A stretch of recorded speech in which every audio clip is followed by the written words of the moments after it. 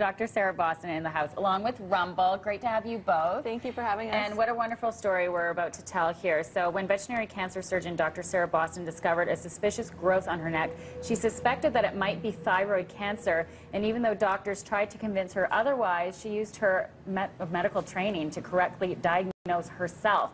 Now cancer free, that is great news. Sarah is sharing her remarkable story in a brand new memoir called Lucky Dog How Being a Veterinarian Saved My Life.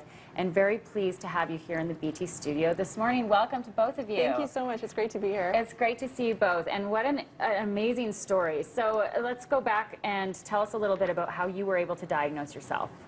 I was actually in Calgary at the time doing a locum here, and I was getting ready for bed, and I was putting cream on my neck, and I felt a mass in my neck. And because I do that a lot, I knew that it was new, mm -hmm. and I knew that because of, I'm a surgeon, I knew that it was in my thyroid gland.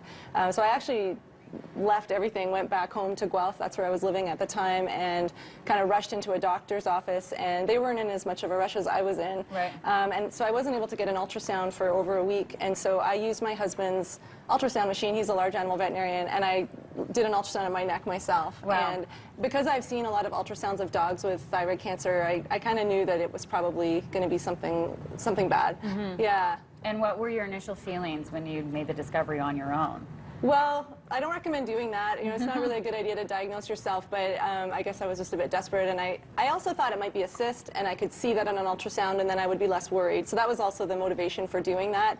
Um, I was just really worried and stressed, and I wanted things to move faster than they were moving. And a lot of the reason I wrote the book was I was very struck by the fact that in, in dogs with thyroid cancer, I can get them in and out of the hospital very quickly. Mm -hmm. All the diagnostics are done on the same day as their appointment, and then they'll have surgery the next day, and then go home the day after that.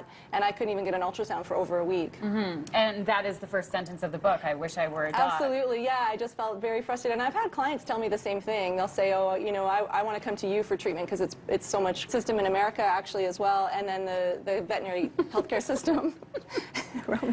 Absolutely. Rumble sit. There you go. Rumble's He's really excited, excited about the here, Kong. Yeah. and, and he loves you, as, as, we can see. And one of the takeaways, I think, in the book is around uh, self-advocacy. Uh, you would obviously be in a different position, having a different background, and being able to sort of sift through some of the information on the internet in terms of, you know, what you needed to know about advocating for yourself. So what do you hope that people take away in that regard? That, that's definitely one of the strongest messages in the book. There's a lot of different messages, but I think if nothing else, if people take away that they need to be an advocate for themselves, and if they can't, then they need a friend or family member who's going to come in and do that for them. My patients have an advocate inherently because the mm -hmm. owner has to advocate for their dog, but if you think about that in terms of yourself, um, you need someone who's there for you, who's looking out for you. Mm -hmm. And not only an important message, but done with a great sense of humor. So Thank how you. was uh, how important was humor to you when writing the book? I think humor is just a big part of my life, and I think when you're going through a cancer diagnosis or anything that's difficult, it is important to